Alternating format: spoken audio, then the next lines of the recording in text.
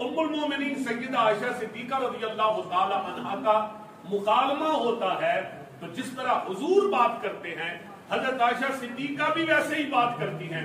तो ये औरत को बोलने की हिम्मत, ताकत और कुत किसने दी है? ये इस्लाम ने दी है। ये पानी इस्लाम ने दी है।